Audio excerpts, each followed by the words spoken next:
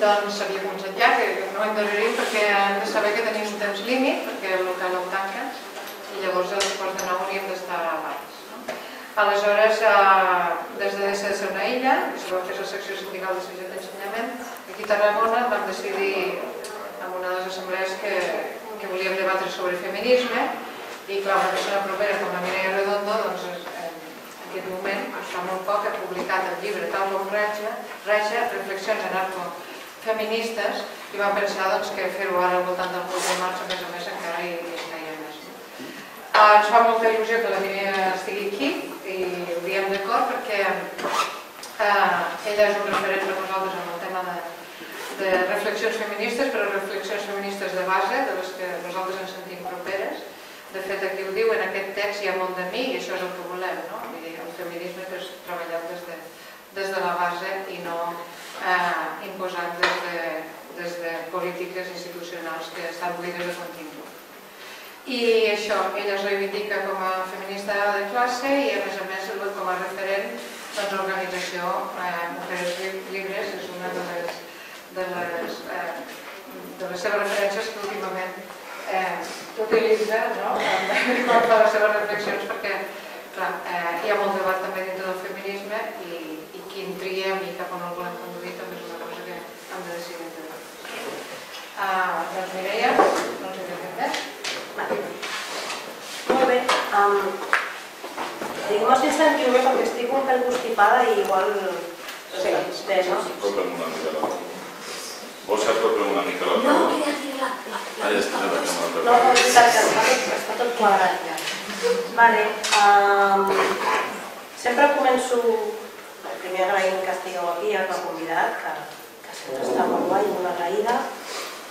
I sempre començo explicant que eh, jo no us puc dir que jo sigui ni, ni politòloga, ni historiadora, ni economista, ni sociòloga, perquè en realitat no ho soc.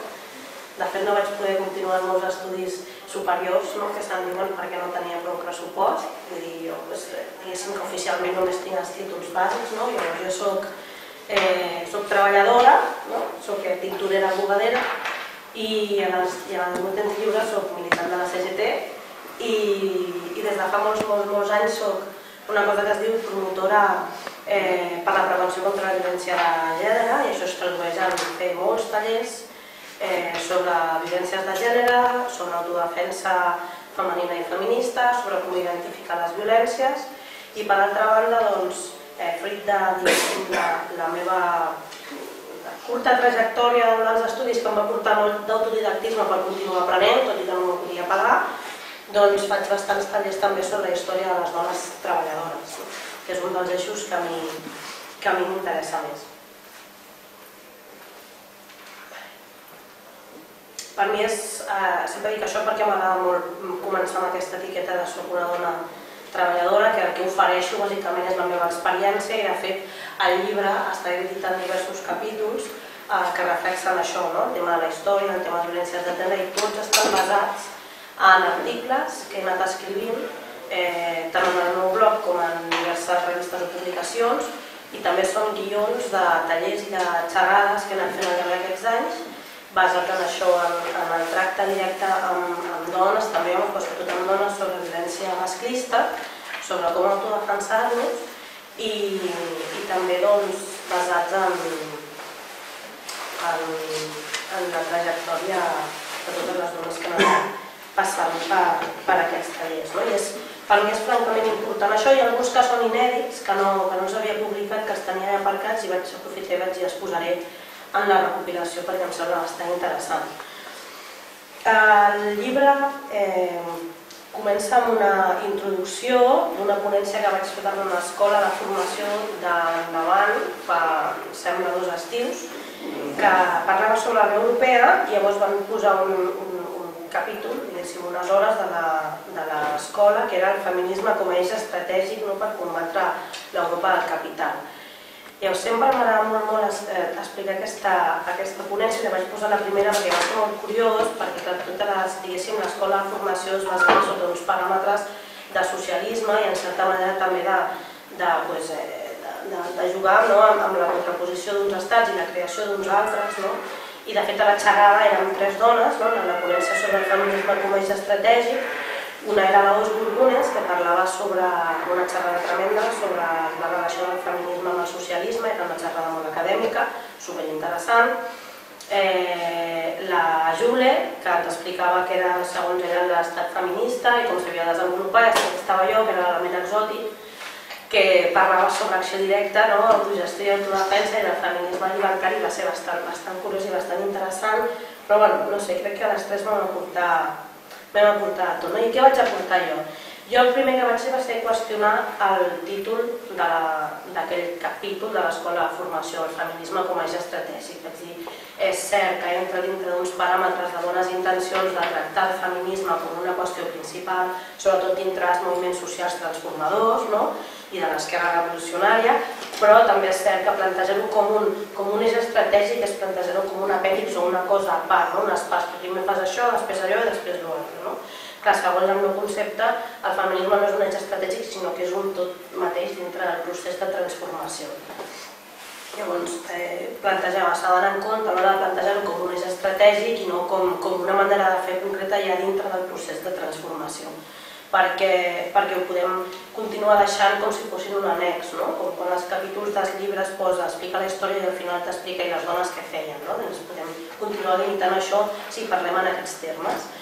Uh, llavors vaig explicar el que, la idea que tinc jo del, que, del, del feminisme que a mi m'agrada, com jo el concebo, com jo el practico, que de fet poso aquesta ponència al principi perquè és al voltant de tot el que parla el llibre, el que passa que el llibre m'estén més, no? i fico aquesta ponència perquè ho resumeix bastant bé. Uh, per mi, si haguéssim de parlar de feminisme com a estratègic o transformador, uh, per mi seria super, super important partir des del punt de vista de recuperar eh, la nostra capacitat de veure'ns, les dones, com a, com a gent polític actiu.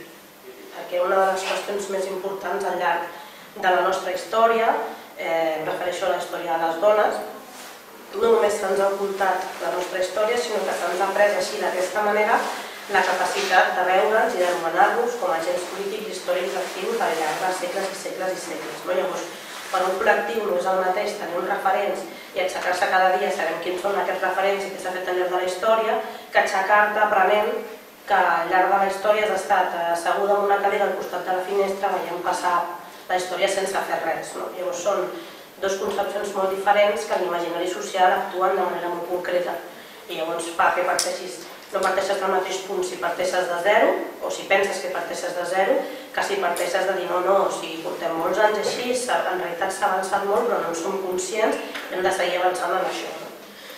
Un altre, un altre aspecte bastant important per mi, des del meu punt de vista, és eh, intentar posar-li un cognom al feminisme des del qual treballem. O sigui, és cert que hi ha diferents feminismes, això és innegable, però per mi això, tot i que és un concepte molt obvi, també pot portar a la trampa i per mi és bastant important posar-li un cognom, per això em defineixo com a feminista de classe, en concret en ecofeminisme, no? perquè aquest cognom que li poses condiciona molt la teva acció, la teva manera de fer, no només respecte al feminisme com a tal que tu practiques, sinó la resta de coses. No? A mi, per exemple, m'és inconcebible treballar de manera constant i, i molt activa doncs, doncs amb una dona que no, que no comparteixi la meva visió de feminisme de classe si, si trio ja l'ecofeminisme igual ja m'estic tirant a la piscina i m'aïdo molt, no? però que no concebi el feminisme de classe com, com una qüestió molt bàsica perquè si no estaríem entrant en el perill no? de que bueno, doncs una dona amb la que estic treballant colze a colze en qüestions de gènere m'estigués trepitjant en qüestions de classe. No? I això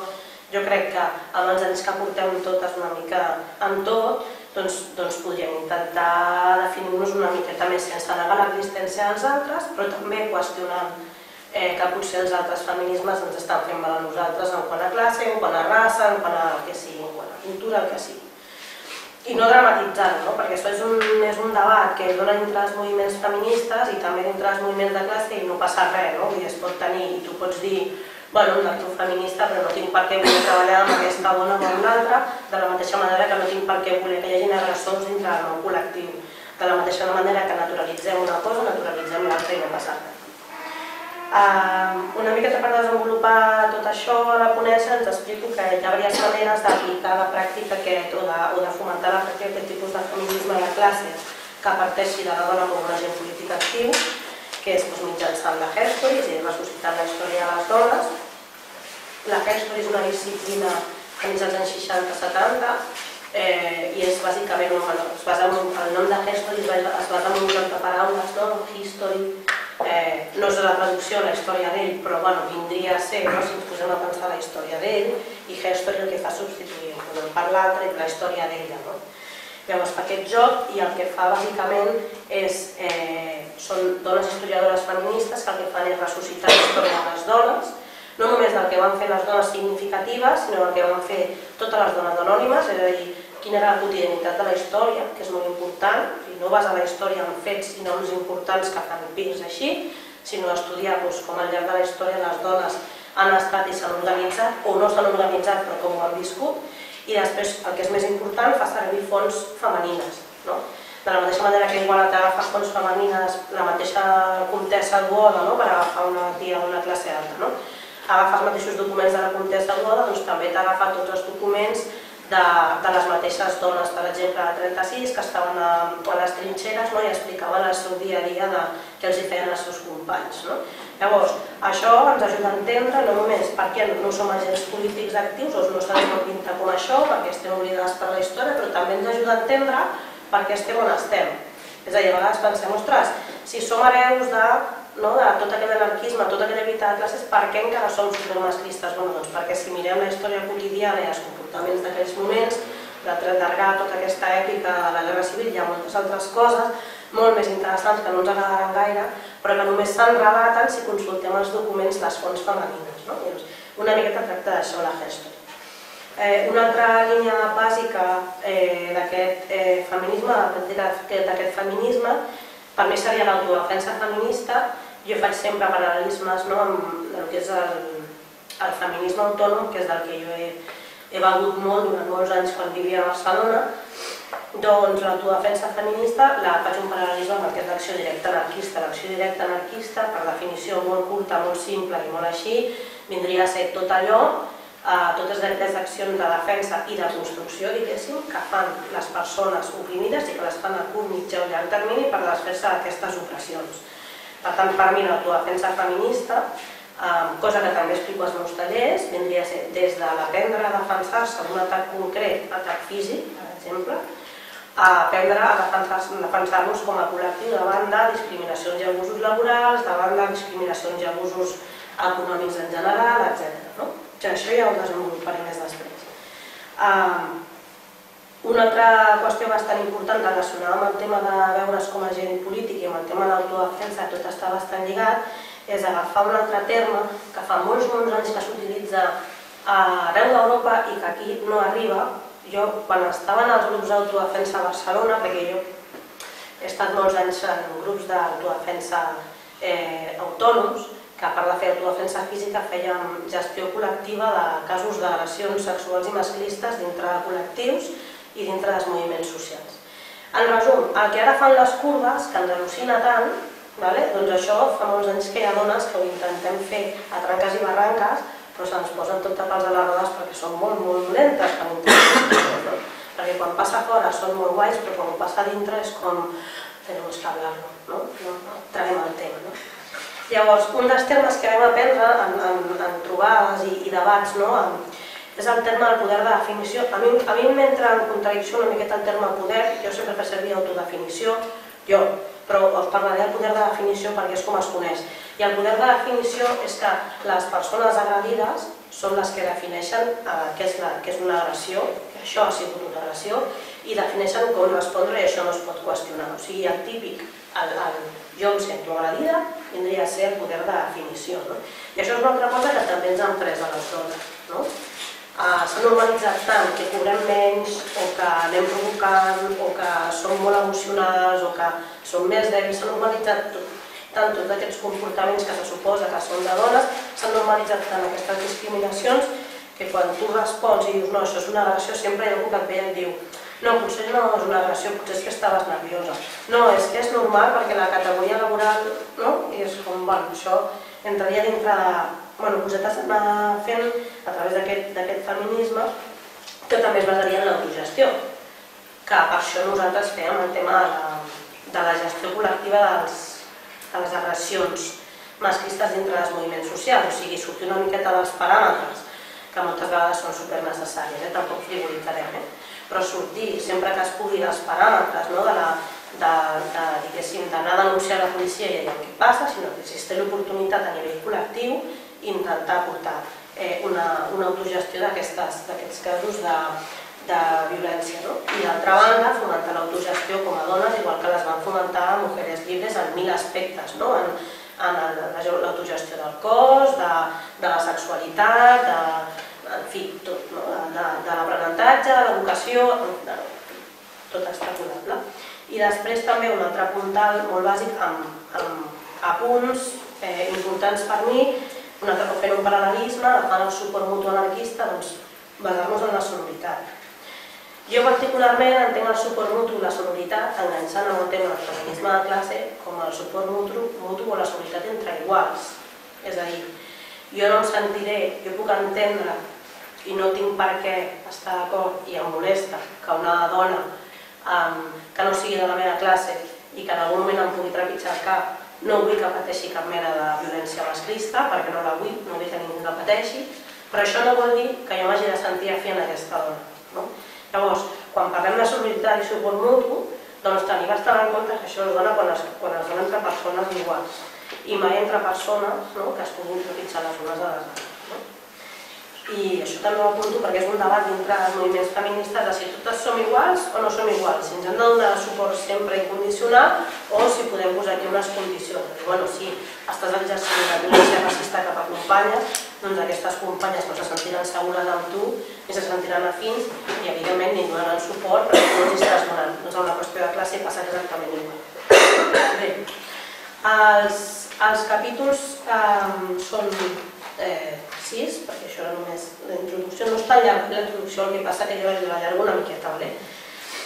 El primer es diu discursos i és potser que té menys relació amb aquesta introducció i el que faig és reflexionar una miqueta sobre la posició del, el que a mi m'agradaria que passés, eh, que, que es fes des del feminisme davant del masclisme i del feixisme i del racisme. No? I això ve perquè a la comarca del Baix Penedès doncs, hi ha un feixisme i un racisme sociològic bastant bèstia, tenim tres regidors de Plataforma per Catalunya, fins fa poc n'eren cinc, però bueno, són tres, i, i vaja, bueno, les condicions socioeconòmiques tampoc acompanyen gaire, és un terreny molt dur, i llavors sí que això que quan vius unes condicions sí que se't fa urgent, no? de dir, ostres, jo no vull que hi hagi un discurs normalitzat de que, doncs, com que ella porta un mocador, jo sóc superior. Llavors, clar, la meva resposta no pot ser eh, intentant-me posar la seva pell perquè no podré perquè ho pateix ella, però sí que pot ser respondre a aquest racisme i a aquest feixisme dient o sigui, jo no vull que tu em posis en aquesta posició, jo no vull ser superior a aquesta persona, no me'n considero, no sóc millor que ella i donar una resposta bastant activa perquè si no són coses que van calant molt fàcilment i més en segons quins tipus d'ambient superprecaritzats, no? i és bastant important. De fet, quan vam fer una mani allà a Comarruga, que estaven els de eh, la manera de un acte de fundació de Respeto, que era, és, malauradament és, no era, una, una coalició, no sé com dir-li, no? perquè aquesta gent no sé com, com s'organitza, en fi, no tinc gaires ganes de saber-ho, la Plataforma per Catalunya, Partit per la Libertat, Espanya 2000, no? van venir a fer un acte de fundació i recordo que vaig estar intentant, bueno, vaig difondre bastant la qüestió a diversos grups i publicacions feministes que tenien bastanta i segueixen tenint bastanta difusió i els explicava coses que ja saben però que bueno, m'agradaria destacar, no? a part del tema del racisme que promouen, doncs que són organitzacions que promouen un model de parella superrígid, supertradicional, no? un model de tia supertradicional, que són homòfobs, que són misògins, que són transfobs, que més plantegen, eh, doncs igual que Ciutadans, no? que neguen la violència masclista, no? igual violència que es dona dintre la intimitat de la parella, un nom llarguíssim per no dir violència de gènere ni violència masclista, no? fan campanyes en contra del feminisme, eh, sobretot de gent de l'Hogar Social de Madrid, han fet mil campanyes molt visibles, fins i tot a, a, a centres estudiantils, contra el feminisme i contra la ideologia de gènere, i, i vaig dir, bueno, doncs igual difonen això i no? ens es dona una miqueta veu i no va haver-hi cap ressò. No? Llavors jo em pregunto, ostres, si durant els anys 30, cosa que també explico una miqueta en aquest capítol, eh, sí que hi havia una postura dels grups de dones davant del feixisme, molt, molt, molt, molt concreta i molt d'encarar-lo. No? Certament que també hi havia una bona part de com molt més assistencialista i molt més d'intentar agafar més afiliació, però realment sí que hi havia una oposició molt concreta dels grups de dones i de grups de dones joves davant del feixisme, doncs potser seria interessant treballar aquesta part, perquè jo pensava, ostres, saps el que molaria avui, saps, davant de tots aquests fatxes que són uns misògins i són uns homòfobs, doncs tenir aquí un bloque, saps, de, de, de, de ties alocades i mariques també, saps, a por ellos, no? I sí, i, i, no, i no, va ser, no va ser possible i crec que seria una cosa a explorar. No? I després explico una miqueta el cas del Yacir, que suposo que, que més o menys el coneixeu perquè per, per proximitat, però bueno, sempre que faig alguna cosa intento que surti el cas perquè s'ha quedat aparcat i és doncs, un noi que, que va entrar a comissaria i no va sortir viu i la qüestió és que havia participat en manifestacions contra la radada racistes dels Mossos que es feien al Vendrell i, bueno, tot aquest cas va tenir com un pòsit de, de racisme sociològic una miqueta de, doncs, que us havia buscat perquè era un, un morito de barrio que se drogava, en fi, aquest, aquest discurs, no? així el poso perquè no valgo i ho vaig dir. El segon capítol es diu Eines i entro una miqueta en, en aquest diàleg no? que sobretot s'està donant molt últimament entre, entre quines energies eh, destinem no? des, de, des, de, des dels feminismes de classe, des del feminisme així més que, que vol transformar d'arrel, que vol canviar d'arrel aquest món, el diàleg que hi ha entre la institució i l'autogestió entre la institució, l'administració, el carrer o la base. No? Um, intento plantejar que les institucions, les administracions, inclús dels estats i els estats-nació sorgeixen de, de la, de la, del patriarcat, de, de l'alineació eh, paterno-filial, que el que fan aquestes institucions neixen amb voluntat de control no només del territori, de les terres i no només dels impostos, sinó de control de qui pot exercir l'educació i qui no, qui pot exercir la sanitat i qui no, el control dels cossos, el control demogràfic, el control de la natalitat i per fer això evidentment has de, has de, has de controlar les persones, vull dir, no és, no és innocent la seva existència ni és, ni és innocent la seva Certament, um, perquè tampoc ens posarem aquí a, a dir som molt purs i a frivolitzar, eh, sí que és cert que hi ha una sèrie de, de coses que s'han de canviar a, a nivell de funcionament de les institucions, perquè per exemple si una dona pateix a eh, violència masclista i va a serveis socials o a la comissaria o a l'hospital o on sigui, allà on vagi se la tracti com se l'ha de tractar. És a dir, el que no pot ser és dir vamos a cambiar-lo tot i d'això no nos olvidamos. No, perquè hi ha coses molt immediates que s'han de treballar. Eh, la gent que l'assisteixi ha de ser una assistència amb cara i ulls, que no estiguin pensant mentre l'escolten o alguna cosa haurà fet, que està mentint, o està histèrica, o que no li informin dels seus drets, etc. Tot això s'ha de cobrir. La qüestió que sempre plantegem és obvi, igual que s'han de cobrir moltes altres coses, però la qüestió que plantegem des de els moviments, transformadors on volem posar la i d'energia. En aquesta transformació d'unes institucions que tenen un tope de transformació, que hi ha un límit de transformació que és que d'aquí no passarem, perquè les institucions no deixaran de ser institucions, igual que el patriarcat no deixarà de ser de patriarcat, el podrem qualificar algun més benèvol que altre, les institucions igual, eh, el que es vulgui. Però volem posar l'energia aquí o volem posar l'energia en una altra banda. No? Llavors jo sempre agafo l'exemple de Mujeres Libres i explico la batalla que tenien eh, de classe i d'institucional o institució o no, les dones de Mujeres Libres i anteriorment les dones que quan encara no existien Mujeres Libres estaven dintre dels sindicats i dintre de l'AIT, doncs la batalla que tenien amb les dones sufragistes i m'estic referint a l'estat espanyol, perquè a més a més el sufragisme aquí va ser un pèl diferent de l'anglosaxó que era més combatiu. Aquí el sufragisme el portava molt en la major part, potser a Madrid era diferent que aquí, però eh, centrarem al Principat el portaven molt moltes dones de factors superconservadors. No? Per exemple, la Francesca Bonmesón, la Dolors Montsardà, que moltes vegades se les, se les pinta com referents de feminisme català, a mi se'm posa la pell de gallina, perquè en els seus articles parlen de que la dona catalana és el crisol de la raça catalana, eh, i a més a més són catòliques per naturalesa i són molt conservadores, i a més a més seria supergreu que les dones sortissin a manifestar-se pels carrers i estiguessin organitzades en sindicats i de fet van, van organitzar un sindicat de la Gunda que se li deia, eh, en el qual intentaven agrupar, era com una mena de beneficència, que li deien sindicat.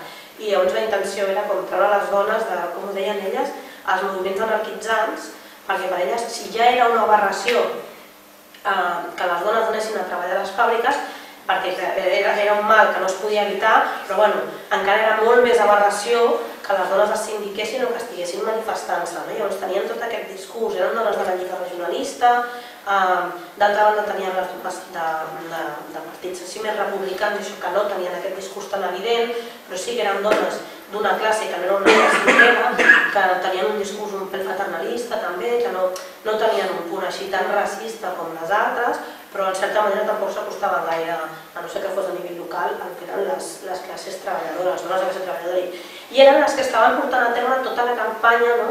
perquè les dones poguessin votar i, i al cap i a la fi era, era una batalla, un camp de batalla electoral entre la Lliga i Esquerra Republicana. Hi havia una superinteressant que es diu la, la de la dona en el catalanisme, que ho explica així.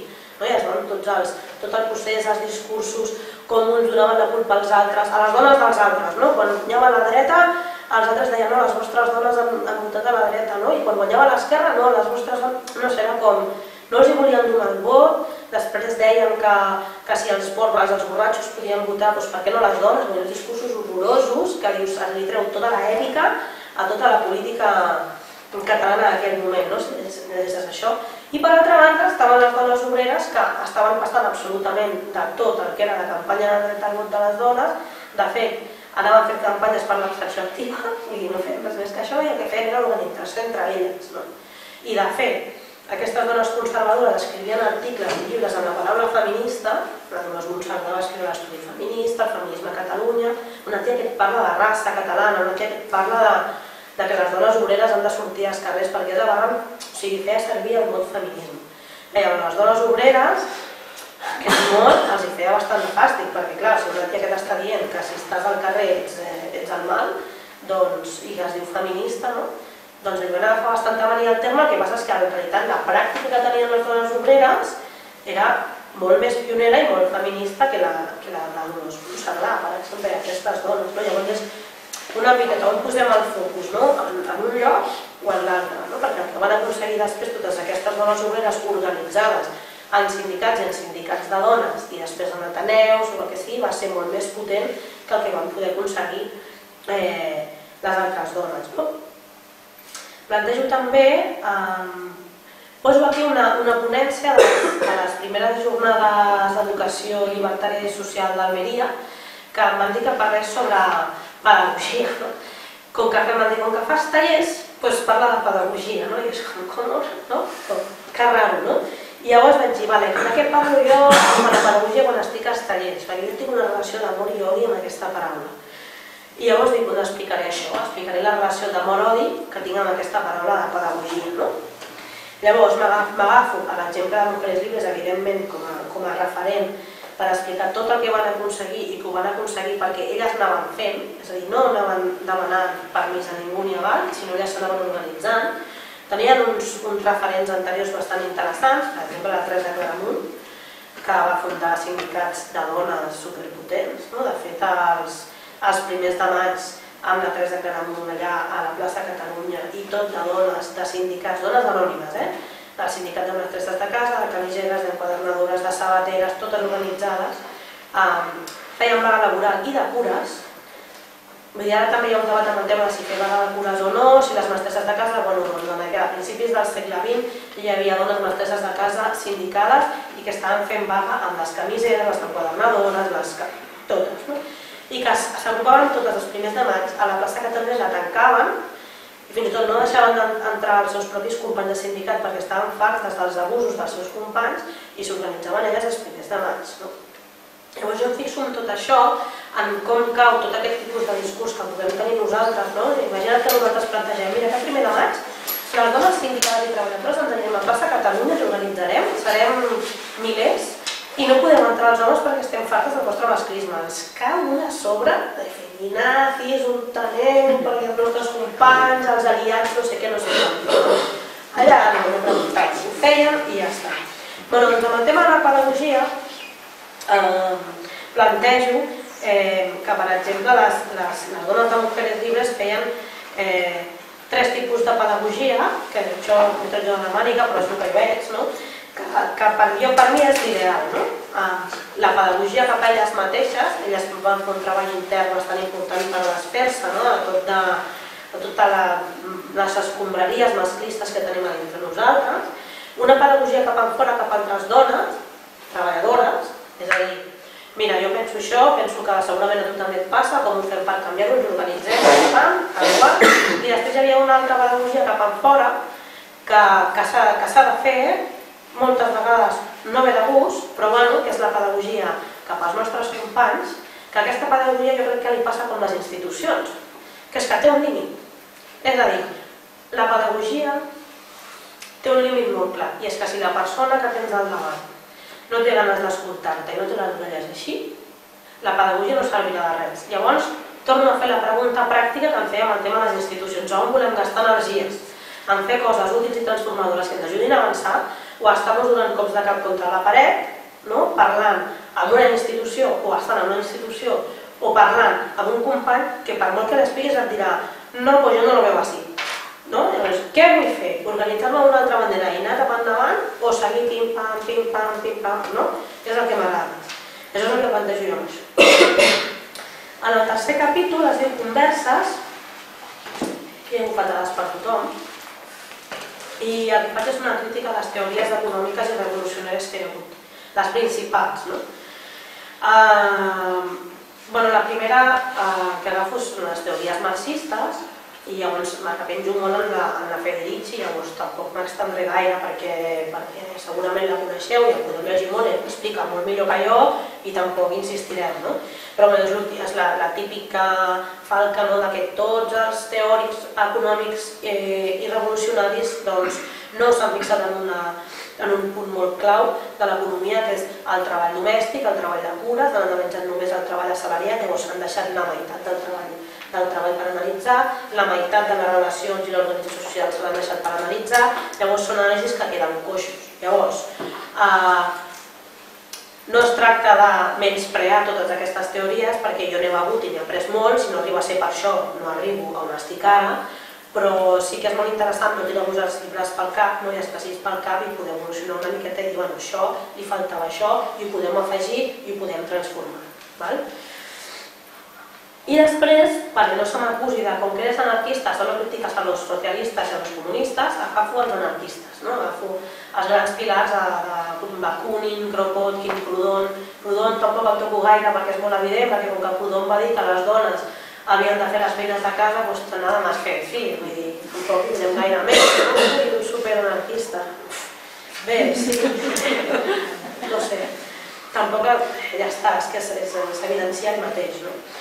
Llavors, el que agafo és eh, els grans pilars no, de, de l'anarquisme així, de, de la teoria més, eh, més moral l'anarquista, la moral anarquista, el que és l'autoritat, eh, que és el suport mutu, doncs agafo això, perquè la crítica respecte al tema del treball de cures també se'ls aplica als anarquistes, és el mismo, vull dir que fan el mateix patró, segurament perquè com que els no, no havien de fer un patient doncs els importava ben poc, no?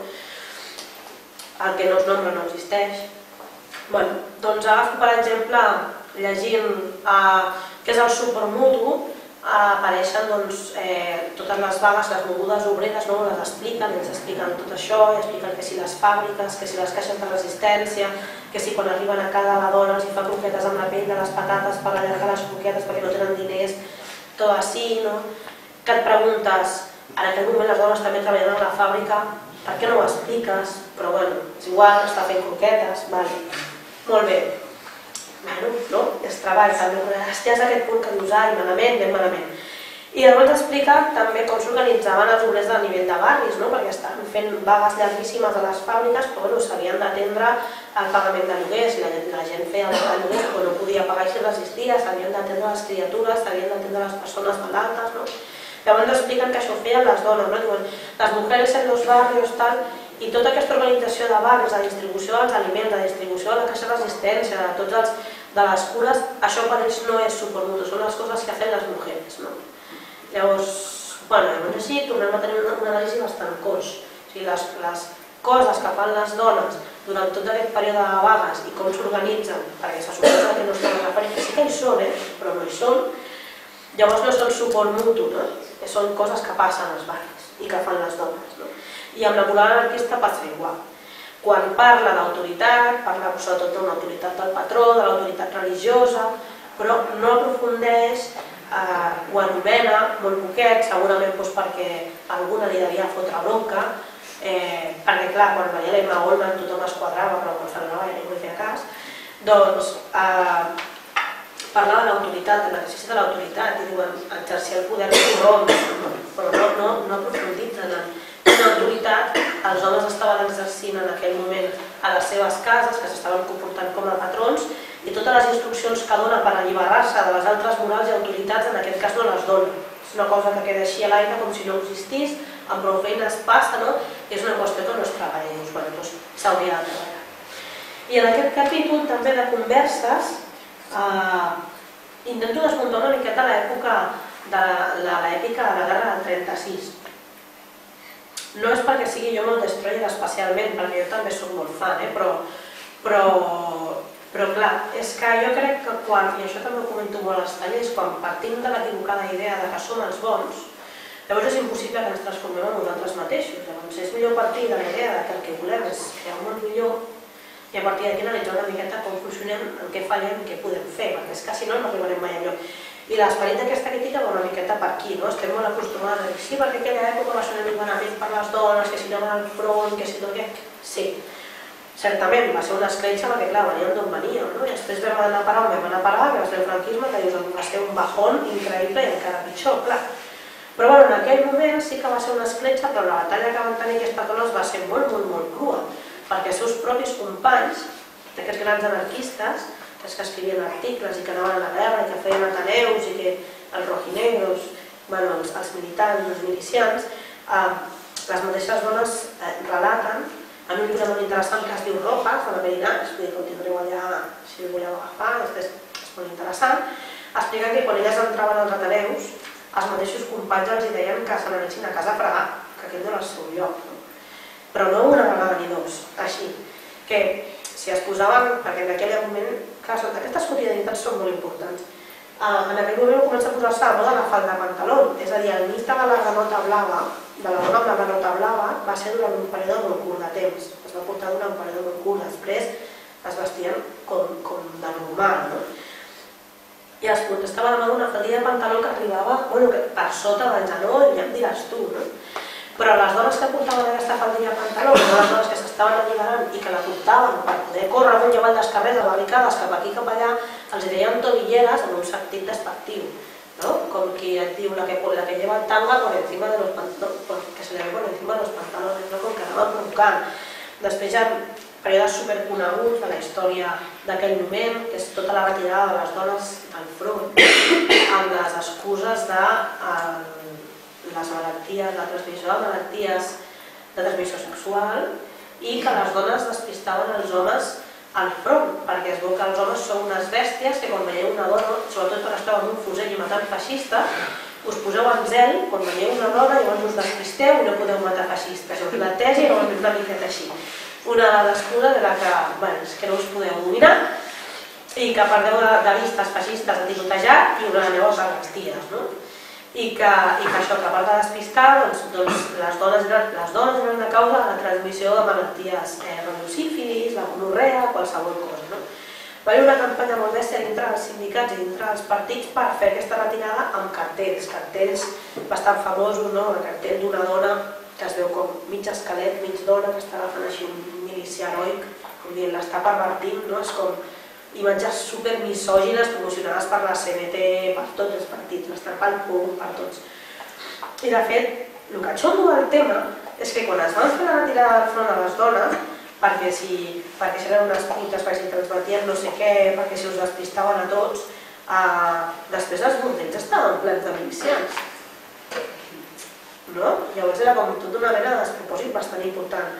Una altra de les qüestions bastant dures d'aquell període va ser que eh, les dones van començar a entrar a certs llocs de treball que abans no tenien accés perquè sí que treballaven a fàbriques textils o altres tipus de fàbriques, però potser en algunes no, i van entrar perquè els homes anaven al front, és a dir, va una retirada de les dones del front perquè deixin de treballar a les fàbriques que feien armament en aquest moment o que feien pasta o el que fos, coses molt bàsiques per, per la rereguarda de la guerra. No?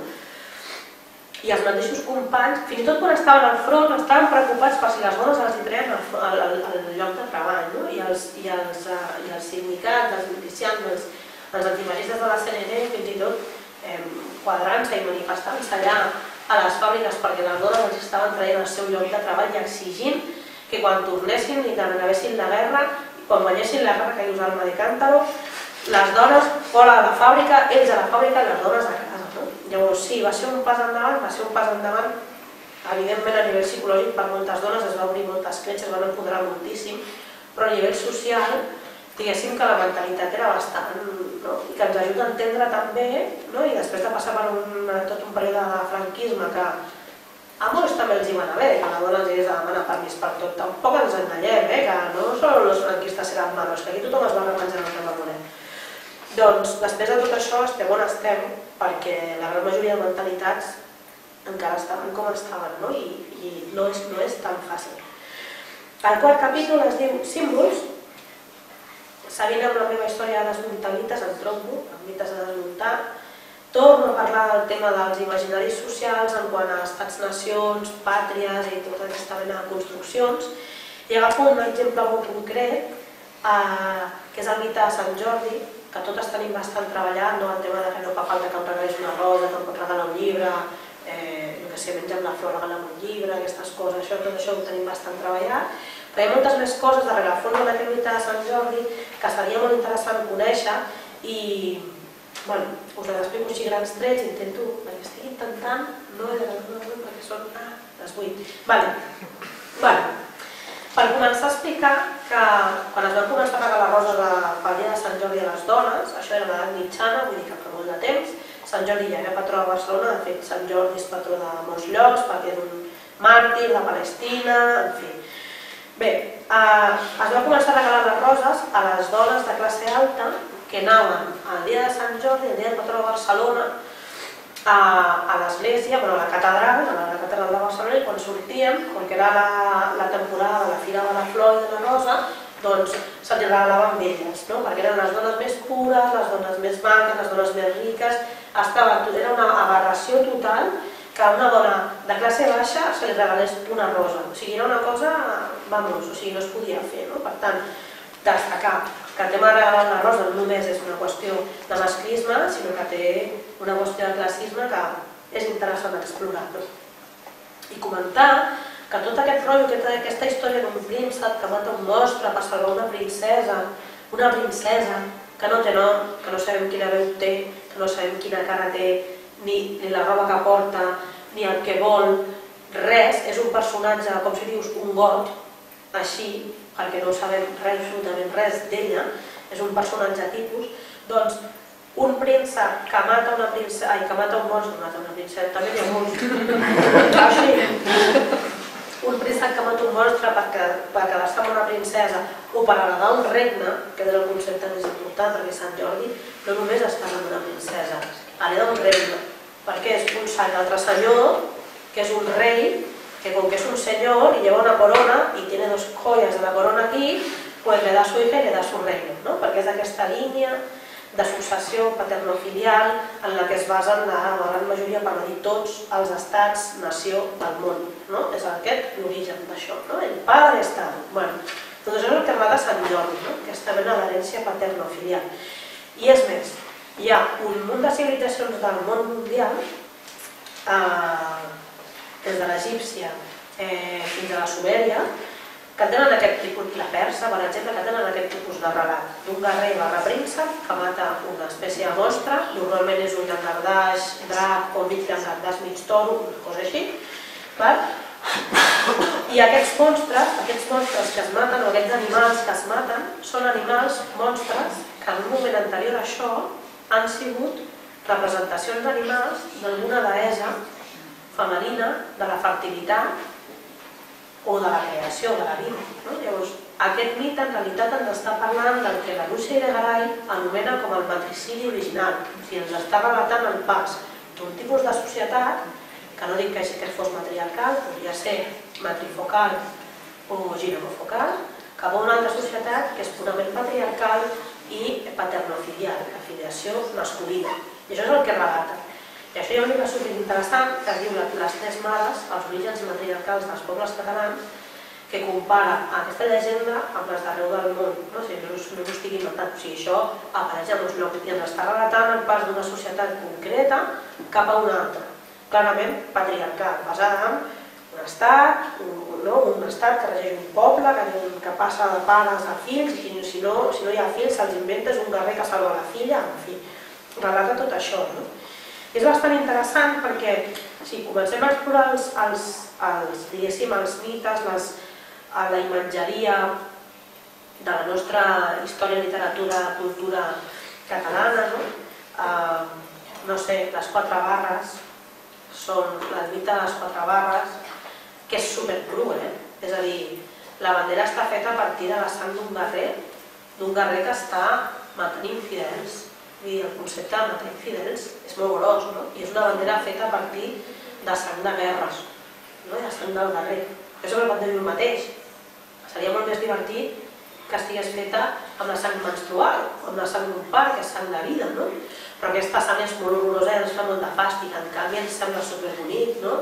Aquella cosa de va sucar, va sucar els dits a la ferida, i va així. És com, ah, no? Dic, està matando moros, matando sarracenos, aquest concepte, és que és molt cru, és que en realitat és supercru, no? El que passa que el nostre imaginari no opera d'aquesta manera, perquè com ho après d'una altra manera? I després un que li tinc molta ràbia, que sempre poso... Hi ha molts més, eh, exemples de, de grans símbols, per exemple, símbols literaris, que també s'han d'explorar. Hi ha un llibre molt interessant que es diu La, la dona narrativa catalana, que ho explora, que posa un exemple bastant paradigmàtic, que és el llibre El Canigó de Jacint Verdaguer. Un tio dels misògins, només el supera la Ximènia, em sembla. Sí. El, en el Canigó, quan relata ja al final, no, que, que quan, ja han guanyat els senyors feudals i tal, que relata que estan tocant les campanes dels monestirs, i llavors diu que es planta la bandera, i que llavors totes les fades i les goixes i les bruixes del Canigó se'n van, fugen corrents, perquè han, han estat vençudes. No? Què ens està relatant aquest home? El Canigó, en la cultura catalana pagana, és l'olim, no? per dir-ho d'alguna manera, totes les criatures paganes i moltes, molt, molt, molt feminitzades que parlen de la fertilitat de la dona i de la vida, el que diu és l'origen d'aquestes criatures. I el que està fent el senyor de Cintarreguer és les campanes de l'església, que és el cristianisme, la plantada, la bandera, hi ha un món nou que està guanyant un altre. I tot el que representa el món antic, que són les bruixes i les fades, s'han d'expulsar d'aquest món. Doncs és molt interessant explorar aquests mites. I després parlo d'un altre mite més polític, que és el mite del 8 de març, que és bueno, intentar desmuntar el que se'ns ha explicat, que és que el 8 de març prové de la celebració del 8 de març prové d'unes dones que van morir en un incendi d'una fàbrica i no és així. Resumit molt, l'incendi va existir, de fet van existir molts incendis en aquell barri en aquella època perquè les condicions de vida i de treball i de vida també eren tremendes. Aquestes dones gran, aquella fàbrica es deia Tringle Wilshire Waste Company i aquestes dones que van morir a l'incendi van sortir a la premsa molt més que d'altres incendis perquè aquestes dones eren les, les impulsores d'una vaga que es va dir la vaga de les 20.000 o de les 30.000 per les dones que la van seguir. I era una vaga del sector textil que va aturar tot el sector textil del país. Val? Uh, però això no és l'origen del 8 de març. O sigui, és un incendi que va transcendir, però no és l'origen. L'origen del 8 de març és un recorregut eh, del, en els moviments obrers de dones obreres organitzades en, als Estats Units, o sigui, Nord-Amèrica, Alemanya, fins a Rússia. Uh, les dones dels Estats Units, aquestes que van fer aquestes megavagues, bueno, estaven totes organitzades a part doncs els seus sindicats i partits estan organitzades com a dones, pel motiu de sempre, pel motiu de totes, és que arriba un moment que organitzar-se de manera autònoma ens va molt bé, perquè com que suportem certes situacions dels nostres companys, doncs necessitem aquests espais, quan s'organitzen, i comencen a, a celebrar un dia a la dona, sense el cognom treballadora. No? Això eh, ho aprenen, diguéssim, ho veuen les dones socialistes alemanyes i la senyora Clara Zetkin ho planteja a la internacional com, una, bueno, que està establís a nivell europeu també la celebració d'un dia de la dona eh, un cop l'any, sense data fixa. I aquí és quan comencen a parlar del dia de la dona treballadora, i això és molt important. Jo soc molt pesada en insistir que el 8 de maig és el dia de la dona treballadora perquè és que és així, perquè és que ve d'aquí. El que passa que no hi havia una data concreta. Se suposa que es feia, bueno, es feia entre febrer i març, finals de febrer, principis de març, se suposa que és eh, per recordar les revoltes del segle anterior eh, a, a França, les revoltes obreres, una miqueta per connectar tots aquests moviments obrers. I les celebracions es van donar eh, durant tots aquells anys a Suècia, Dinamarca, Noruega, Alemanya, diferents llocs. I al cap de res, poquets anys, a Rússia es comença a celebrar també aquest dia de la dona treballadora.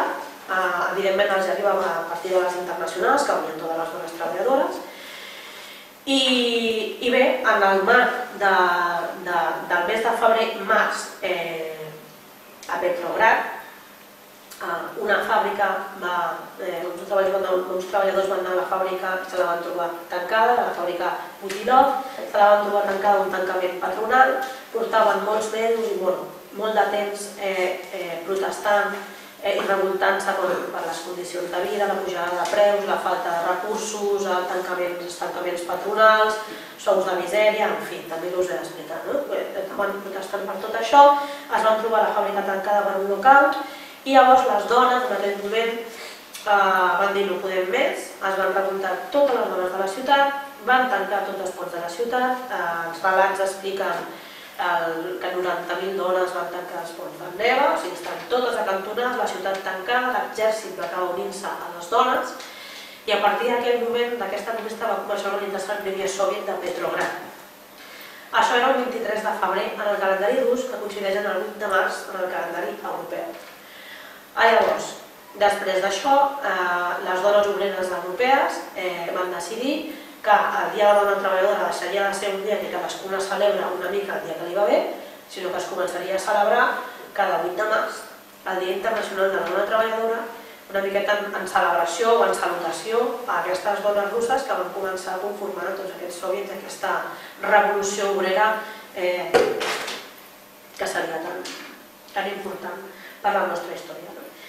No? Torno a repetir, és molt important, tots aquests símbols, no és el mateix celebrar el 8 de març eh, primer, sense el cognom de treballadora, no és el mateix celebrar-lo el cognom que sense el cognom, no és el mateix celebrar-lo pensant que està celebrant que unes dones van morir cremades perquè no van poder escapar d'una fàbrica, que celebrar-lo sabent que el que estàs fent és agafar una miqueta el fil no? de totes aquelles dones treballadores que van estar lluitant pels seus drets com a treballadores, com a obreres, com a dones, contra l'assetjament sexual, contra els contractes eh, precaris, contra els sous de misèria, tot, tot el que diem nosaltres, ho deien abans, no? en l'imaginari com a dona, que es vol organitzar i que vol canviar, opera de manera diferent i per això és tan important desmuntar i explicar bé tots aquests mites.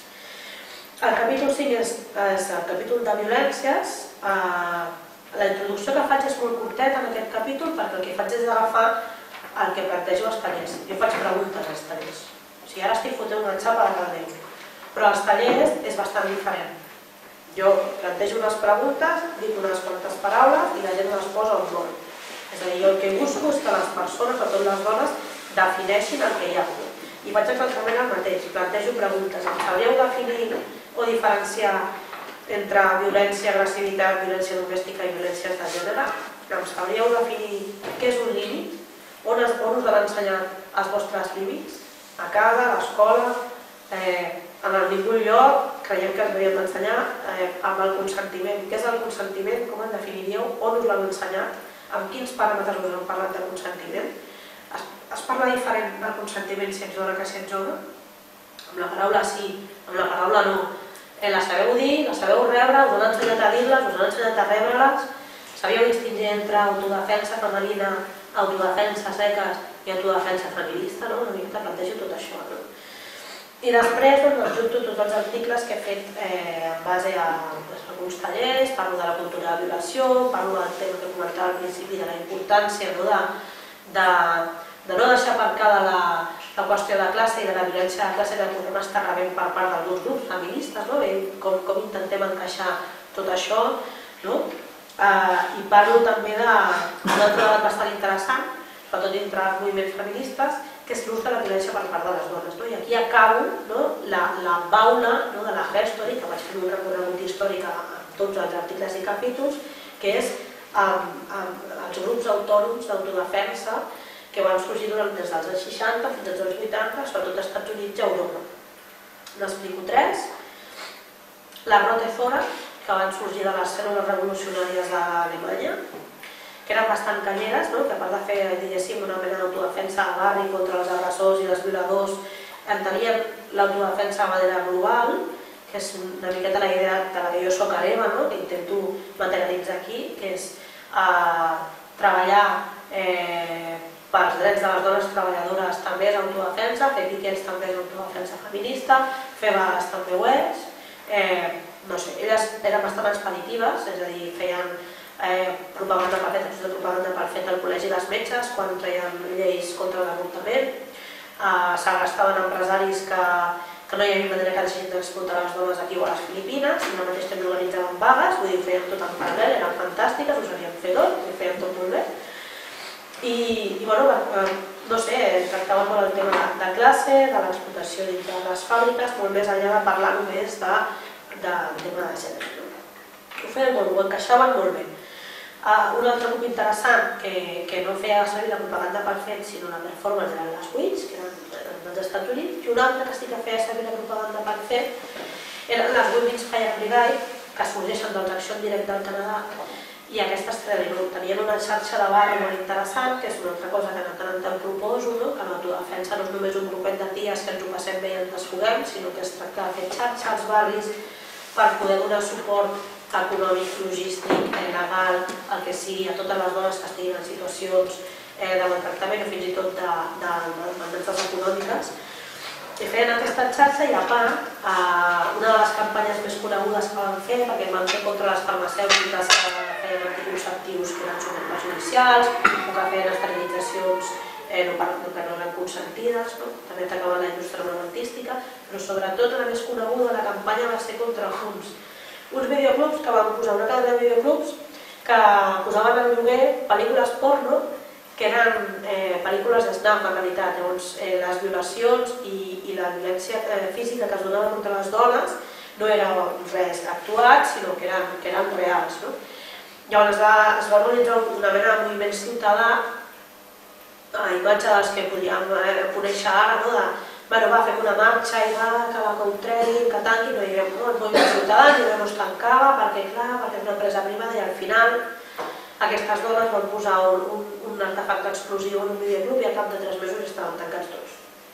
Ja està, no?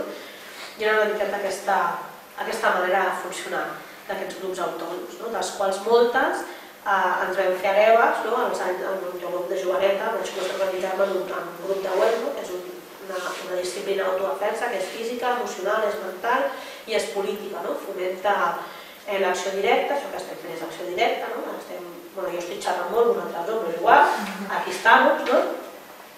Eh, fomenta l'acció directa per una interacció i a crear xarxes de suport que siguin reals i que vagin fomentant eh, l'autogestió, eh, l'autodefensa i la transformació. I l'últim capítol és, ja són eh, dos o tres poesies i dos o tres relats així, molt curtets, així poètics, prosa poètica, que són més al jo, més, més interior, i ja està. I això és el que poso. En resum, vull dir que beuré aigua. Coses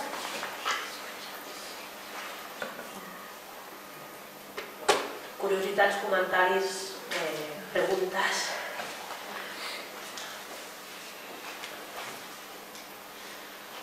Has parlat molt d'història, no? Sí. I llavors ara, traslladant-ho ara, eh, i veient ara, no?, amb aquest 8 de març que tenim la vaga internacional feminista, etc. Quina perspectiva hi veus, diguéssim? Creus que, és, que hi ha la capacitat de tornar a xarxar amb, amb el moviment que hi ha, eh? amb tot el que s'ha generat, perquè jo penso que aquest 8 de març, no sé si pararà molta gent o no, però que sí que està sacsejant i, i aleshores eh, i veus, perquè jo veig que el feminisme s'està treballant molt aïlladament, no? Les feministes, feministes, clar, si no aconseguim que això sigui transvers, vull dir que, que ens impacti de manera estructurar a tothom, doncs no aconseguirem canvis. Llavors és... Bueno, Clar. no no? O sigui, Sí. Jo, per exemple, em- jo és que he vist molt en contradiccions, llavors em passen el terme per al. Uf. En el tema de vaga, jo per una, per una part penso que és una iniciativa superxula, vull dir que és que i a més és molt potent, jo la veig com un punt de partida, val? perquè en realitat el que em passa amb, el, amb, el, amb els moviments feministes és que, clar, parlant així en difús, no? és que per mi realment tot el tema de, de classe de dones treballadores està molt difuminat en quant a la pràctica. A moltes en quant a discurs, però després en quant a la pràctica està molt difuminat. Llavors sí que veig que hi ha una intenció de, de mantenir o de recuperar un cert discurs de dones treballadores, però, però veig que no acaben de tenir una pràctica que arribi o que estigui realment amb totes les dones treballadores. No? A més, jo què sé, jo intento visualitzar, jo faré vegades, estic fent campanya i m'encanta molt el que estem fent, eh? però veig, repeteixo, com un punt de partida, perquè intento visualitzar eh, certs sectors laborals i em costa molt de visualitzar si realment hi haurà un seguiment d'aquesta vaga. I penso que si no hi ha és perquè des del moviment feminista de vegades ens estem atrapant en, en debats sobre el sexe dels àngels, també perquè igual estem treballant amb aliades que potser no ho són tant, que potser no són aliades permanents i que potser hauríem de fer uh, un treball més tipus mujeres llibres de gastar sabata, de rebaixar una miqueta el discurs, no per no dir les coses, sinó de baixar de l'estratosfera i gastar molta sola de sabata i estar parlant i fent molta xarxa poquet a poquet amb les dones que treballen a la subcontracta de neteja de no sé on, amb les dones que treballen a tal fàbrica, amb les dones que treballen a l'hostaleria, al petit comerç, perquè hi ha una desconnexió en realitat. I si, si ens parem a parlar, si ens parem a gastar sola de sabata al carrer, hi ha certa desconnexió. Sí que és superpositiu que estigui sonant no? molts termes, la violència masclista, el tema de, del Too, no? tot això està, és molt positiu perquè va sonant, però penso que no acaba de calar perquè no hi ha aquesta xarxa i aquest contacte real i un treball real amb, amb el que és totes les dones treballadores. Jo crec que a més és una manera del que fem. Jo és que al final penso que l'única solució és el que fem. No com els discursos i tal, és simplement el que fem. De, potser eh, hi ha col·lectius que ens donen molt de discurs o poden ser persones molt guais amb les que treballar, per exemple, la qüestió de violència de gènere com a tal només, però després de fer una xarxa de crear col·lectius de dones potents, de dones treballadores que te surtin a la vaga i que et parin totes i que sigui tremendo, doncs, doncs anar a buscar les dones treballadores. I jo crec que això al moviment feminista li costa molt, molt. No sé si és fruit d'aquest descafeinament històric que hi va haver després de la, de la Segona Guerra Mundial, no? en el qual tot aquest pes obrer que tenia eh, el 8 de març es va, se li va girar la truita no? i es va plantejar, sembla que va ser l'Eleanor Roosevelt que va fotre un discurs bastant així, no? dient que les dones tenien la, la, la missió de conservar la pau social i tot. No? I jo crec que tenim aquest pes a sobre, no? de dir, bueno, la pau social, quina pau social, la pau social al preu de què, no? i quines dones són les que estan integrades realment en tots els moviments feministes, no? No sé, jo em poso pensar, en concret, l'assemblea feminista de la meva comarca, no? que són ties molt guais, tenim ganes de parlar de moltes coses, està molt bé. Volem parlar de la nostra relació amb el món, de les nostres menstruacions, de... és genial.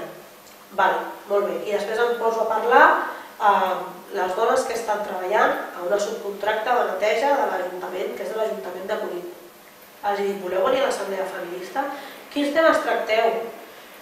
La nostra relació amb el món, les menstruacions... Clar, llavors, no és que els temes no siguin, no siguin interessants, no és que no siguin interessants, és que hi ha una desconnexió molt bèstia, la desconnexió és moltes vegades que també ens quedem en el, en el diguéssim, l'espai que ens fa estar còmodes, sobretot les que són més militants, perquè, clar, ens fa estar molt còmodes estar en un col·lectiu en el qual parlem d'això, no? de, de nostre ciclo i de la Pachamama, i tot això està molt bé, no? Però és que això és molt egoista, perquè la resta de dones, no? la resta de dones treballadores, què? No? Llavors, a vegades és, vale, deixem aquest espai de confort, no del tot, però, o qui vulgui quedar-s'hi que s'hi quedi, jo aposto per deixar una miqueta aquests espais de confort que segurament ens reconforten de tot este mundo hostil que nos rodea, no? i és com ens és molt necessari, però pues igual potenciar altres coses, no? intentar repartir les nostres energies en altres coses, perquè és que si no ens quedem allà en nostre mundo i després explicar-li la vaga feminista a les que estan treballant a no sé quina fàbrica et diran però si me dijiste que vais de menstruació. Clar, és, és molt complicat, no? No sé, jo soc molt, molt, en aquest sentit soc molt pràctica i per això em fascinen molt Mujeres Libres, eh? a part de que eren pioneres, sinó perquè elles feien coses molt factibles, feien aquests programes de formació per dones que, eh, no sé, feien escola i feien també formació sindical i elles mateixes anaven, què necessiteu això? Què necessiteu? Vale, doncs fem aquest curs, què necessiteu això? I a partir d'aquestes coses tan tontes, tan bàsiques, de formació agrària, formació en policultura, doncs, a poc a poc feien un tracte molt de tu a tu, no? no era un... Bueno, organitzem unes jornades que en el cartell hi ha una figa i no sé què, que està molt guai, eh? però després qui va? Amb les militars i l'entorn de les militars. Però és que estem creant. Clar. Llavors, no és tant que el feminisme sigui una èlit com a tal, però sí que s'està creant una espècie d'acadèmia, no? Allò, una espècie d'èlit i és, i és molt egoista. Doncs per això plantejo la vaga com una iniciativa brutal, que a més a més és una eina que hem fet servir les dones obreres des de sempre i m'estan xirriant molt, eh? Hi ha feministes que estan dient que és, que és feministes molt conegudes, eh? que estan dient que és la primera vaga i la primera vaga de cura i és com, no, ui, no, això és mentida. No? I això, desmuntar aquest discurs també és important. Però ho prenc com un punt de partida perquè ens fa falta treballar molt perquè realment sigui les 90.000 dones allà a Petrograd o les 20.000 o les 30.000 de, dels Estats Units o per fer això s'ha de fer megáfono, zapatito i, i què vols? Que es faci una formació de... Pues vale, ja està. Jo crec que has fet una, una reflexió respecte al cognom, no? Jo després de feminista i crec que no em toca la que puguem estar més o menys aquí de, de cares conegudes. No? Treballadora, no? És que treballadora, no? Això és important. També m'agrada molt quan has parlat d'aquesta intentar ficar-nos al costat dels altres, no? per, per voler i acabar intentant entendre com es veu de l'altre costat. Que pot ser, per la situació, diguem, des de la dona cap al masclisme sí que està i potser de l'home cap al feminisme no tant, no tant. Però també m'agradaria introduir una cosa perquè m'ha fet molta gràcia el del matricidi d'aquí del Jaume i de la Rosa i aquesta història legendària. Però no tant penso jo com a matricidi per la paraula, o sigui, de la dona sí, no? Però és que jo crec que aquest matricidi respecte a aquesta feminitat actual de la dona, les dues característiques, i en el component de mare, de mare, de mare, s'està donant ara. I jo te volia dar, saber la teva opinió, perquè sembla que estiguem parlant de feminisme potser sempre amb, amb, amb masclisme, no? o masclisme posat feminitat. Però jo és que estic detectant, i amb la necessitat que tinguem d'aquest WIC internacional i que es pengi i es visualitzi com punt de partida, estic d'acord amb tu. Però és que a mi me fa por que l'autèntic negació de la dona s'està produint en l'androgenisme, los andróginos. Ai, Jo no sé, no, no, a veure, Uf, que... és, no, no, és que clar, Sant Cugat ja, eh? és que clar, jo crec que no, no és el tema del debat, no? però preparem-nos, no? perquè és que sempre pareix que estiguem jugant en dualitats, no? feminisme, masclisme, no, no, és que això més força que puguem fer, n'hi ha un altre interès global en un altre model, que és la desfeminització de la dona. I anem a l'ordre, en el que anem reivindicant també. Volia saber la teva opinió, si coneixes per on va aquesta escola. Tota la qüestió del gènere és supercomplicada, perquè al final gènere és una construcció. No? Llavors, quan parlem de desfeminitzar les dones, o desmasculinitzar els homes, són com armes de doble fil, no? Des desfeminitzar en quin sentit? Què és el que fa femení una dona, per exemple? Què és el que fa masculí un home? No, jo t'anava concretament a, a la qüestió mare, ma, això sí que és exclusiu de la dona, això sí que és Ah. exclusiu. Una qüestió La biològica, maternitat, sí, sí, sí, sí. la maternitat. Sí, sí, i per ahir, per ahir pot ser que, que estiguem perduts. Bueno, aquí és un debat, és a dir, el que defineix una dona és la maternitat. No és exclusivament, però sí que és un caràcter definitori. Llavors el que defineix als homes és que no podeu ser mares. No, no, no, que, que no vull debatre amb tu, vull dir, la, la teva opinió respecte a aquesta línia argumental, com ho veus tu? Jo sé com ho veig, si vols un debat, però el que te demanava era la teva opinió.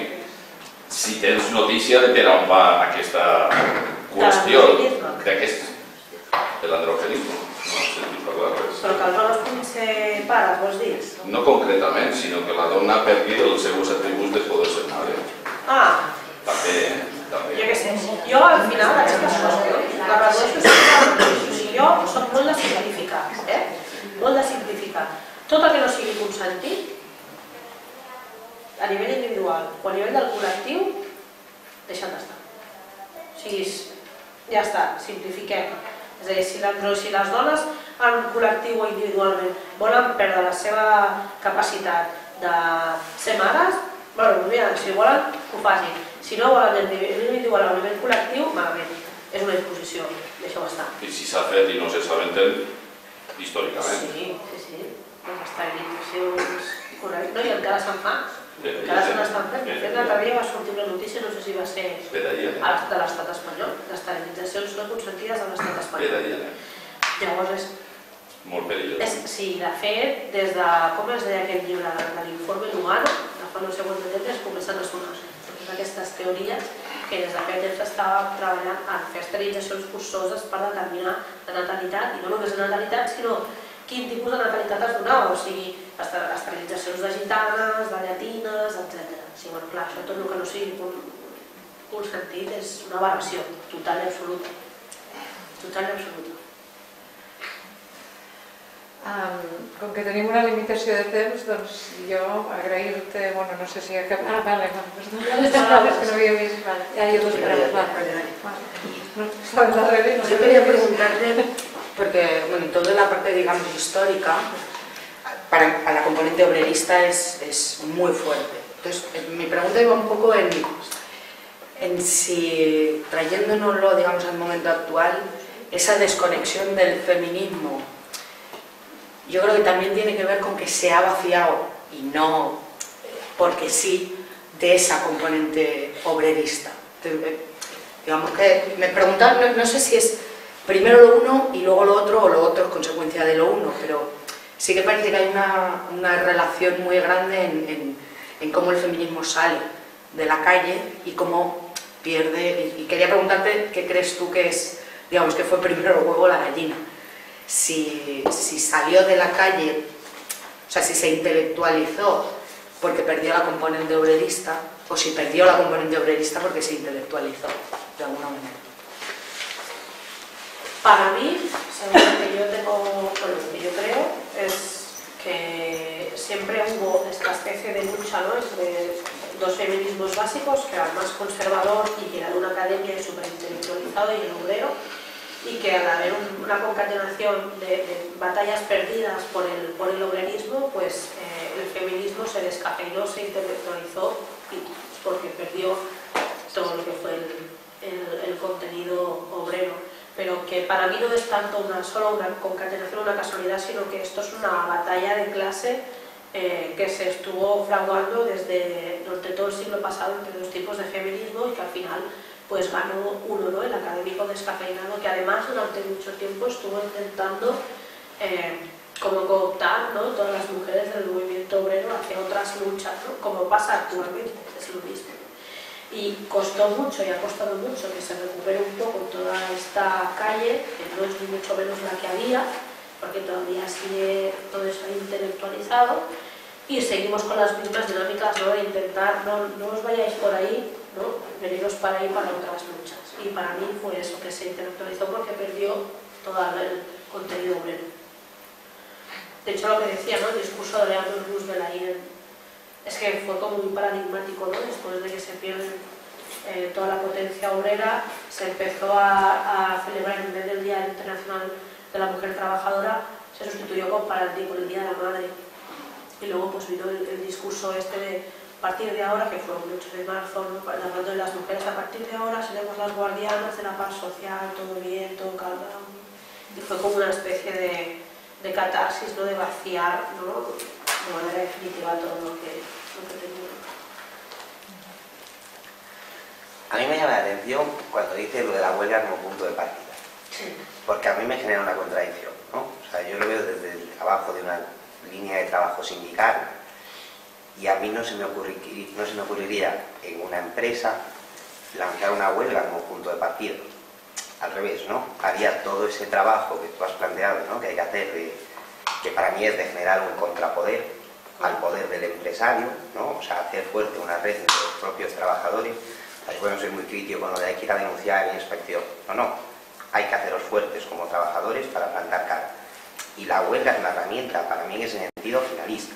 Es decir, ante esa fuerza que tienes, tú la ejerces y una forma de ejercerla es la huelga. Y para mí, o sea, por eso yo doy mucha importancia a la herramienta de la huelga, porque pienso que hecha con potencia eh, es un golpe. Claro, a mí me llama la atención, desde esta concepción, que es la que yo utilizo, el plantear esa dinámica al revés de huelga como inicio, que a mí personalmente me genera mucha contradicción. Y me lleva una pregunta, porque para mí no es solo parte del movimiento feminista, es parte del ámbito de la izquierda en general, eso que decías tú de esa desconexión, ¿no? Y es como que hay una tendencia a que nos juntamos para los grandes actos. O sea, nosotros hemos coincidido en reuniones de 8 de marzo, primeros de mayo, no sé qué, no sé cuándo. Y siempre son los mismos debates para hacer las mismas cosas. Y debates con gente que después, durante el año, no la vemos haciendo ese trabajo del día a día. ¿no? Y sin embargo son las voces que se dan y son las cosas importantes que se hacen. Entonces yo me pregunto, ¿hasta qué punto el entrar otra vez en esas lógicas, y para mí esta convocatoria de huelga cae un poco en eso, no es el poner encima de la mesa las grandes gestas y dejar un poco ese trabajo de construcción de día a día, que para mí es el que vale, o sea, yo en eso coincido con tu exposición, y no acabemos cayendo un poco en eso, el foco está en los grandes actos, en qué se va a hacer el 8 de mayo, o sea, el 8 de marzo en este caso, y la pregunta para mí es qué se va a hacer el 9, qué se va a hacer el 10, qué se va a hacer el 11, y hasta qué punto este tipo de convocatorias o de propuestas, digo esta, pero también están otras, ¿eh? es cómo se construyen esos primeros de mayo, esos 25 de... Hasta qué punto esa forma de plantearlo, esa forma de construir, eh, no es contraproducente.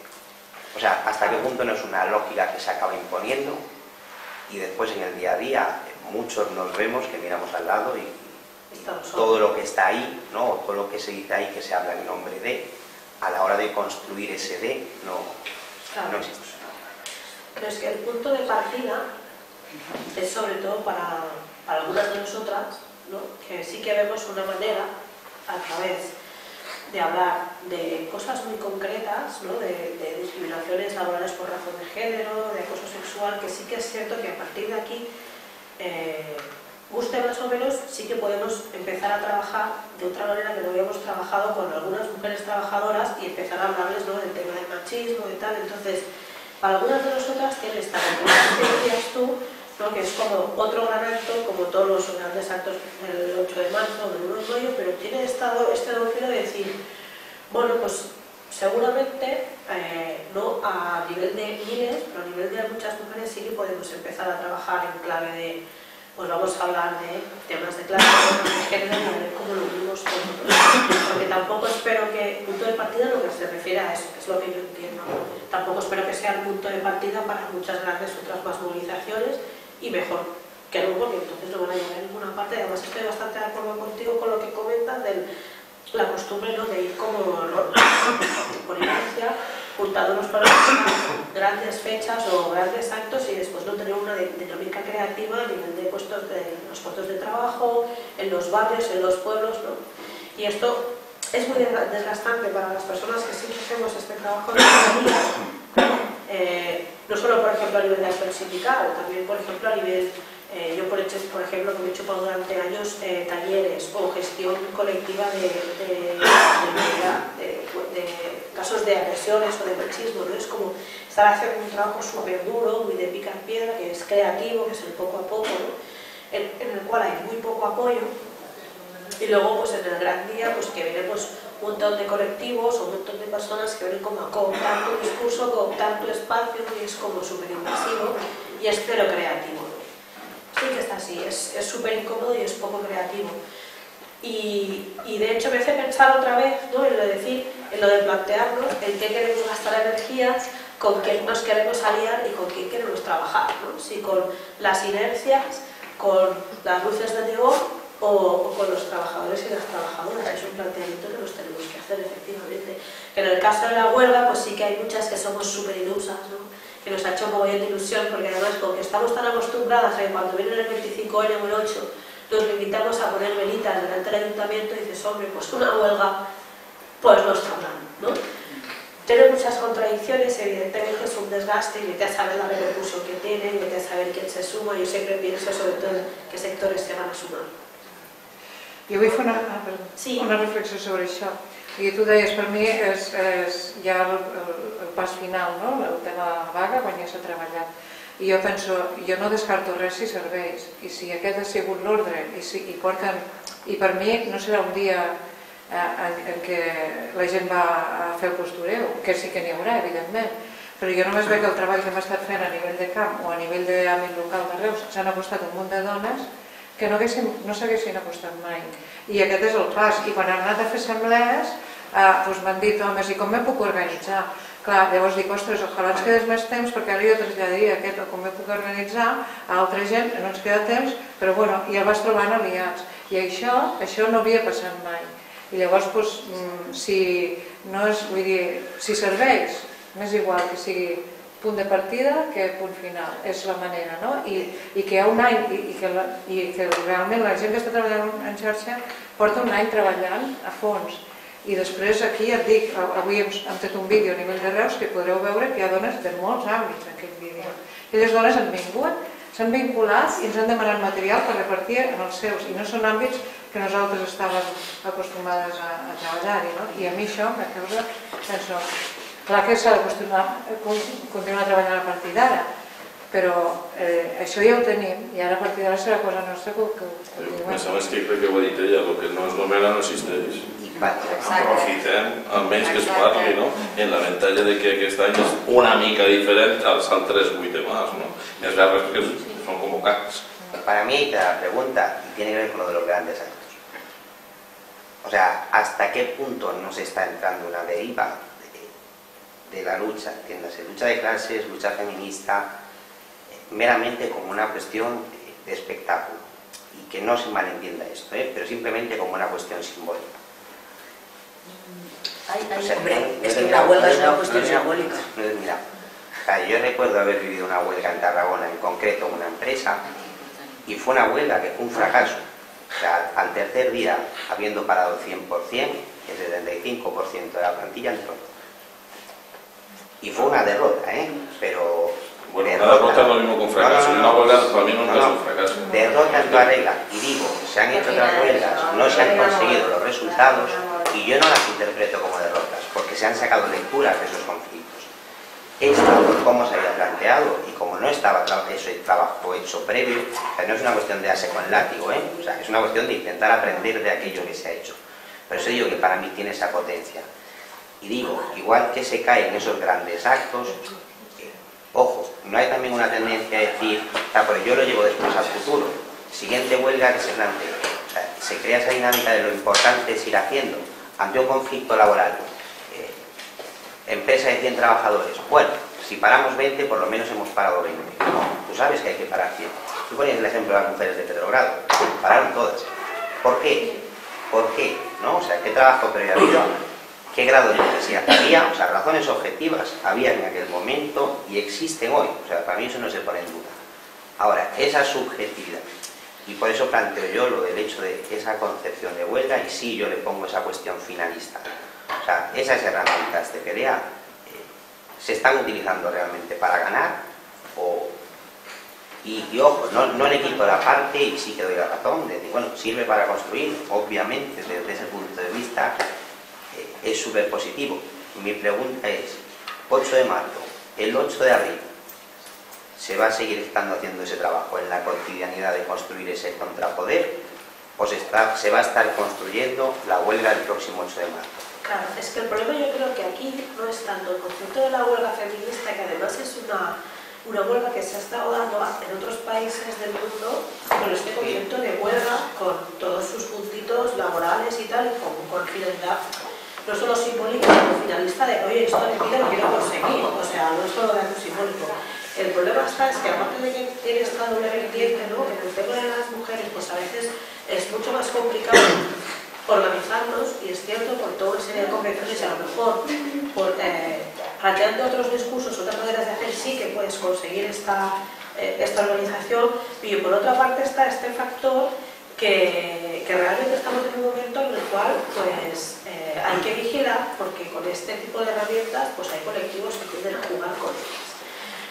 Y entonces sí que entiendo por dónde vas y, creo que, ostras, a mí me gustaría mucho no hacerla o no promocionarla por eso, pero sí que es cierto que hay un montón de colectivos y situaciones en los cuales lo que se hace es tender a estar trabajando solo para, para la cuestión de. Entonces, ahora mismo tampoco se me ocurre cómo se podría revertir esto y seguir continuando por este camino, porque en realidad eh, tiene muchos contras, pero también tiene pros, ¿no? Y es como y es complicado porque cierto es hay muchos colectivos y asociaciones y esto que están sumándose a nivel simbólico y con a nivel de trabajo real prácticos de un paratero y además están como, como copando muchos focos, ¿no? Estos, estos colectivos, muchos, mucho más focos de los que tendrían que copar. Entonces, es, si es una, una, realidad que nos encontramos o también venimos de otras huelgas, ¿no? de las que también podríamos debatir, de cómo se ha utilizado esta huelga, esta herramienta que, que en este aspecto podemos debatir mucho, mucho y mucho. Y, y, de hecho sería bastante interesante debatir porque, por ejemplo, en las asambleas abiertas que hemos hecho nosotros ahí en el Vendrell, nos hemos encontrado con gente militante de izquierdas que nos debería a hacer la asamblea de la huelga a decirnos que no haría huelga porque no cobrarían los 50 y a plantearnos eh, que planteáramos a las empresas hablar y negociar para que se hiciera huelga y plantear lo mismo que se, se planteó en, el, en la naturaleza del país plantearlo para los. O sea, todas estas dinámicas que igual se han ido estudiando desde hace muy poco, que están inventadas, que la gente se está rapando en el show y que y realmente están contaminando bastante la práctica, al menos en lo que yo puedo estar viendo, están contaminando la práctica de, de, la, de este tipo de huelga feministas. Ara, ara sí que hem de tancar perquè clar, hi ha llibres a la venda per 12 euros. Jo volia tancar només dient que en quantes vagues laborals de sectors masculinitzats han fracassat a nivell de números laborals. Aleshores, donem una oportunitat a aquesta, que tal, no?